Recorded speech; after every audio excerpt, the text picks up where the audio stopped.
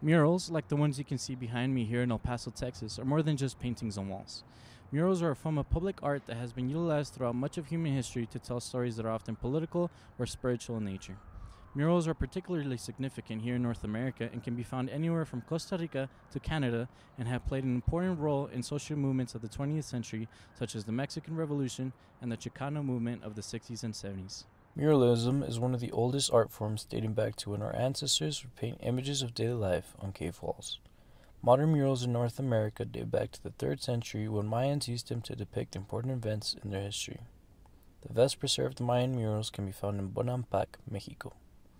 Bonampak is the modern Mayan word for painted walls, and this ancient site is testament to the long and rich history of this style of artistic expression. Well, muralism is relatively modern um, in terms of like the history of art. But when we look at the grand scheme of the entire picture of art, humans have been painting on walls since we were first, you know, coming out of, you know, um, the Ice Age civilization. Some of the earliest works of art are depicted on caves, and you can consider those muralism. So there's always been this innate primal urge to kind of depict, put messages, whether it be for survival, telling a story, or documenting history. It's you know, it's a thousand year tradition. After the arrival of the Spanish to Mexico in the 16th century, muralism became an agent of evangelization. Mayan murals were painted over, and the new murals were used to coerce the indigenous people into accepting Catholicism, and the art form stagnated. It wasn't until the Mexican muralists of the late 19th and early 20th century that this art form returned to its roots.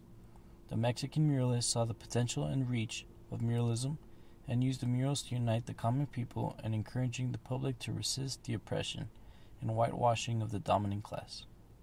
Murals are one of the most accessible forms of art. They can be found in public spaces that often receive a lot of human traffic, and you do not need access to a gallery or museum to observe these pieces.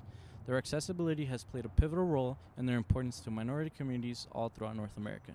They often exalt members of the community and can be enjoyed by anyone, regardless of financial status or levels of literacy works of art are public and what greater surface than you know a wall or an interior and exterior wall. Um, so when we look at the artwork in, in, in, terms of history, after the fresco painting, uh, canvas kind of became the new norm and people were painting on stretched canvas and muralism and fresco paintings kind of died out because it's really, really uh, difficult. You have to work with plaster, it gets wet. Um, so that kind of went away, and then it kind of got lost to history and was still kind of kept up tradition in the art schools and the schools of art. But it wasn't really until the Mexican muralists that muralism became again um, high art. Um, muralism ended up being the art form for marginalized communities, people of color. Uh, this is a way to spread messages, you know, for political ideology uh, revolutions, you know, being able to spread mass messages quickly was through murals. Um, so the artists like from Mexican muralism, like Diego Rivera, Siqueiros, Orozco, took that and brought it back to what its roots were, and it was kind of high art, being able to spread messages of communism, but mainly uh, making connections to their indigenous roots and the history of Mexico and colonization and science and where they saw the community going in the future right? So Mexico always has this amazing ability to take an art form that is archaic and old and give it new life, and then people go and study from it. So people from all around the world actually would go to Mexico and learn from the Mexican muralists.